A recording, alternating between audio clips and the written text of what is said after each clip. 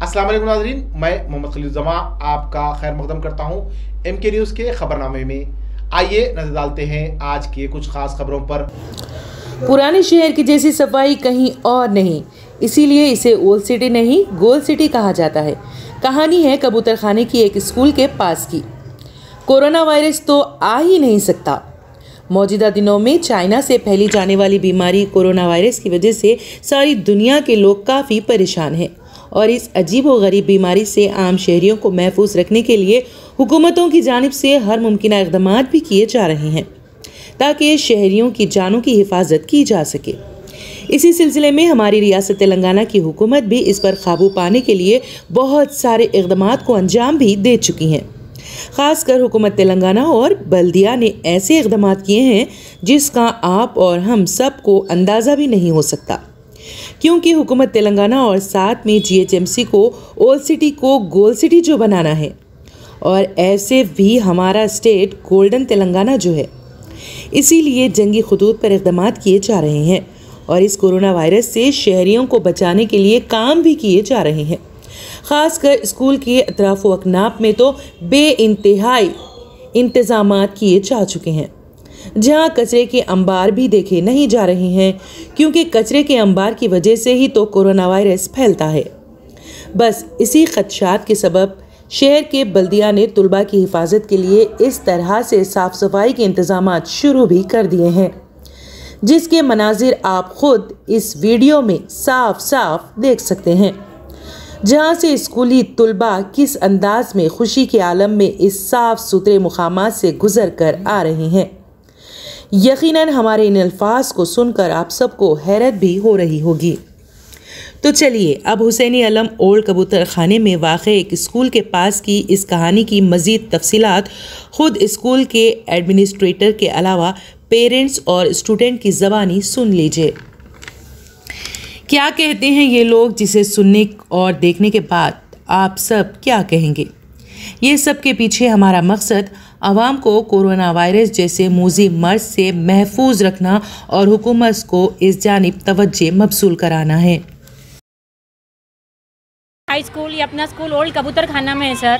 Sir already यहाँ पे कचरा कुंडी के लिए कंप्लेंट दे चुके हैं। कईयों बार कंप्लेंट दे चुके हैं। वो लोग क्या करते हैं? एक दो बार आते थोड़ी सफ़ाई करते वापस अब इसको पूरा डंपिंग एरिया बना दिए। अब जैसा कि आप देख रहे हैं, कोरोना वायरस पूरा चल रहा है। हम स्कूल में हर तरीके का अवेयरनेस प्रोग्राम बच्चों को दे रहे हैं। कि बच्चों को क्या प्रोटेक्शन लेना है, क्या प्रिकॉशन लेना है, कौन सी तरीके से कैसा आना है, कहाँ साफ़ सफ़ाई रखना है, अपने आप को कैसा वो लोग को, है ना, क्या बोलते हैं, अपना सेफ्टी देखना है, उसके लिए हम पूरा उनको मास्क वगैरह पेरेंट्स भी इतने अच्छे से कॉपरेट कर रहे हैं, अपने बच्चे के लिए मास्क दे के भेज रहे हैं इवन जैसा बाहर का फ़ूड अभी कोई भी चीज़ को, जो इन्फॉर्मेशन हम न्यूज़ के थ्रू या न्यूज़पेपर्स के थ्रू हमारे पास जो भी मिल रहा है, हम हो सक रहा है हमारे से, जब तक हम बच्चों के अंदर वो पूरा इन्फॉर्मेशन शेयर करने का कोशिश कर रहे हैं। अब स्कूल के अंदर आप देख सकते हैं, हमारे स्कूल में पूरा हर तरीके का क्लीनलीनेस है। मगर अब हम बाहर हम क्या कर सकते हैं, सर? हमारे से बंद पड़ रहा, हम हर जगह पे कंप्लेंट दे रहे मगर कंप्लेंट देने से क्या होता है? एक दिन आते हैं वो लोग साफ़ करते हैं, फिर उसके बाद कई दिन तक कोई साफ़ सफ़ाई नहीं होती। अभी भी आप लाइव बाहर देख सकते हैं, अभी क्या हालत है। चलो भाई, आज संडे कल संडे है, आज सैटरडे तो समझ में आता भाई, शायद वर्कर्स अवेलेबल नहीं रहो,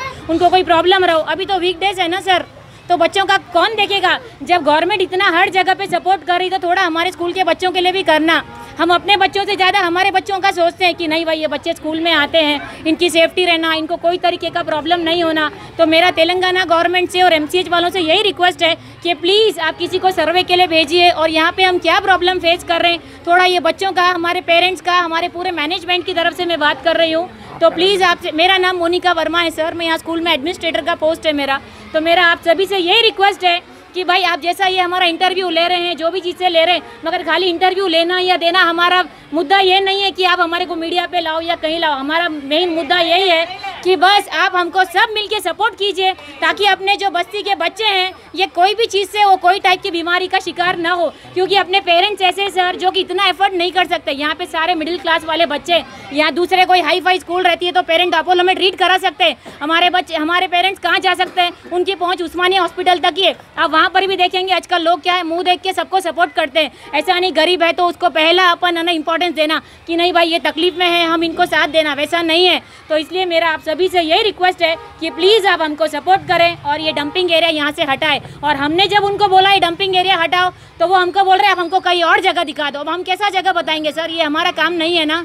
हमारा ये किसी ने जैसा इन्फॉर्मेशन जहाँ पे कंप्लेंट दिया था ना सर तो वहाँ से ये आया कि आप हमको दूसरा डंपिंग एरिया दिखा दो, ताकि हम कचरा वहाँ, अब ये कचरा यहाँ के तो लोग डालते हैं अल्तराफ के जो भी वो रिक्शे वाले रहते हैं, सारा कचरा जमा करके यहीं लाके पूरा जमा कर देते हैं सर अब हम किसको किसको रोकेंगे? अब हम बच्चों की पढ़ाई की तरफ़ ध्यान देंगे या ये कचरा कौन लेकर आ रहा है, कौन लेके जा रहा है? इवन सोसाइटी के भी कई लोग ऐसे हैं, जो चाहते हुए, न चाहते हुए भी कचरा पूरा यहीं डालते हैं। थोड़ा उन लोगों ने भी थोड़ा कॉर्पोरेट करना चाहिए।